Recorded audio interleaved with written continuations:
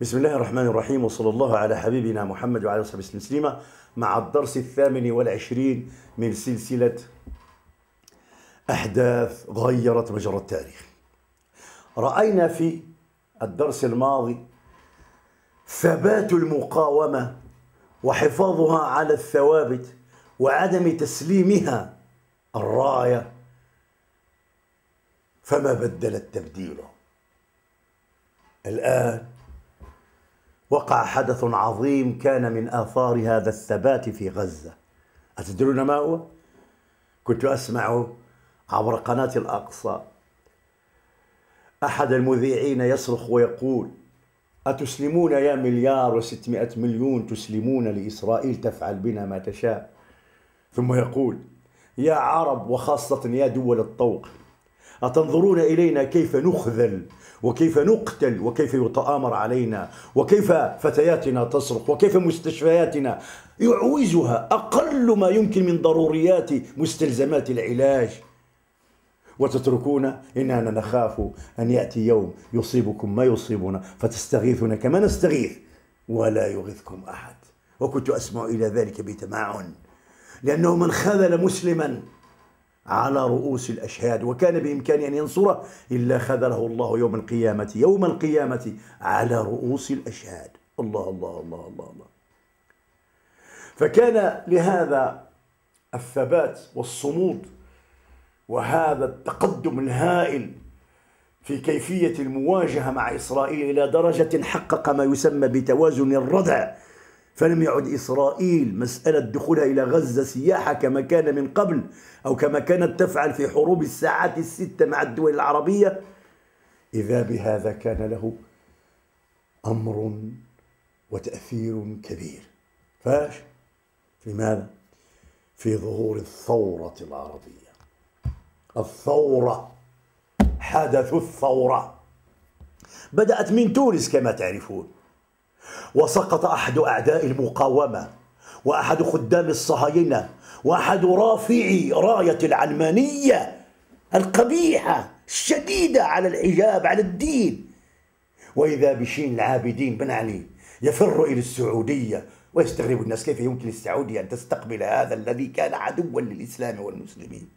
ثم ينتقل عدواها بعد ذلك إلى مصر.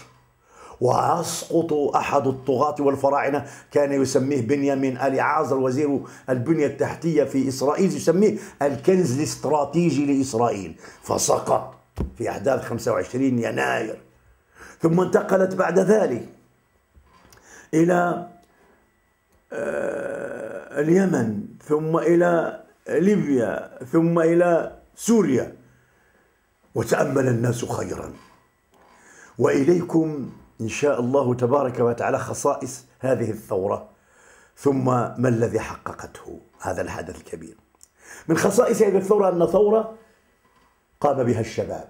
ثانيا أن الوسيلة التي اعتمدت هي ما كان يفتقده الشباب من قبل وهي مواقع التواصل الاجتماعي التي عوضت لهم عدم وجود إعلام لهم. فالإعلام كان دائما هو إعلام رسمي.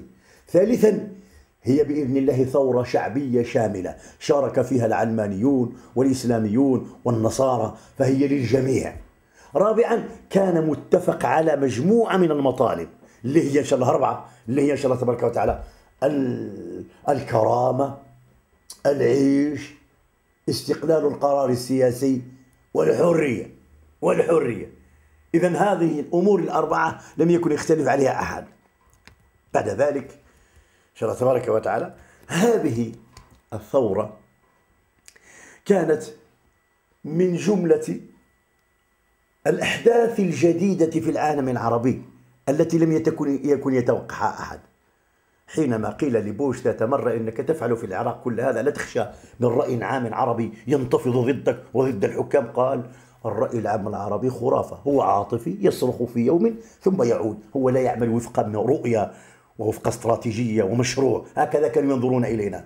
فلما وقعت الثورة وخرج الشباب بصدورهم العارية يستقبلون الرصاص هناك غير الشعب العربي نظرة العالم إلى هذا الشعب. فرأينا كيف أثر في مدريد ورأينا كيف خرجوا يقولون إرحل ورأيناهم في أوكرانيا يعملون ما عمل الشعب العربي. ورأيناهم في أمريكا ورأيناهم في أوروبا. فأصبح الشعب العربي ملهما. حتى سميت الثورة المصرية ثورة معلمة أي معلمة لغيرها. ثورة معلمة. هذه الثورة صححت نظرة الغربيين للإسلام حيث كانوا يروجون دائما في إعلام أن المسلمون والإسلاميون لا يؤمنون إلا بالعنف. هم يروجون هذا لتبغيض الناس وتنفير الأوروبيين من الإسلام. لكن لما جاءت الثورة بطريقة سلمية أزاحت هذه الفكرة وصححت هذه النظرة ووقعت السياسيين ورجال العسكر في أوروبا في مطب كان لابد أن يبحثوا عن مخرج له فكانت هذه الثورة نقلت الشعوب العربية في في طريقة تغيير الأنظمة إلى حال جديد. أولا تجاوزت ما يسمى بنظرية الانقلابات العسكرية. ما بقاش. مش انقلاب. شعب أراد أن يحصل على حريته. هي قمة قمة الوعي حينما يرتفع وعي الأمة. إن الأمة إذا رأت الظالم ولم تقل له يا ظالم فقد تودع منها. الثانية إنها أيوه تجاوزت ما يسمى بطريقة التغيير بتاع القاعدة. حتى هم اقتنعوا. الثالثة تجاوزوا طريقة التغيير الخمينية. خمينية.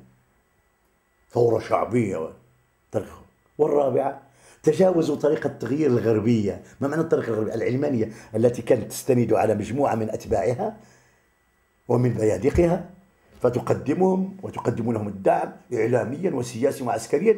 ثم تحسن صورة هذا الرئيس عند العرب. ويصبح رئيسا طبعا لأن الشعب مسكين لا إعلام لا ولا. حتى العلماء الذين يمكن أن يقوموا بأي دور هم نائمون. هذه النقطة الثانية. النقطة الثالثة وهي فارق. هذا الحدث كان فعلا كحجرة غيرت الماء الراكد حركته بحيث فضحت المستور. ما معنى ذلك؟ لقد كانت الثورة فرقانا. وضح أمورا كثيرة. ما الذي وضحه بين لنا العالم العالم الصادق مع العالم الخائن. وفرقت بين الإعلام الباني والإعلام الفاني في حب المستبدين. وفرقت بين المفكرين الصح الذين ينتمون إلى هذه الأمة والمفكرون الذين باعوا ضمائرهم لأعداء الله. وفرقت بين كل الطوائف بين من يحب هذا البلد ويحب له الخير وبين من يرتمى في أحضان الأعداء. شحال كنا نحترم بعض المفكرين؟ ما بغيتش نسميهم الآن. كنت أسمع لهم كثيرا لكن لما قامت الثورة وجدتهم يحرقون البخور عند أعتاب المستبدين ويأخذون الدولارات ولا حول ولا قوة إلا بالله. فهذا كان حدث الثورة العربية التي أخرجت نظاما جديدا. إلا أنها أسقطت زين رؤوس الأنظمة ولم تسقط الأنظمة.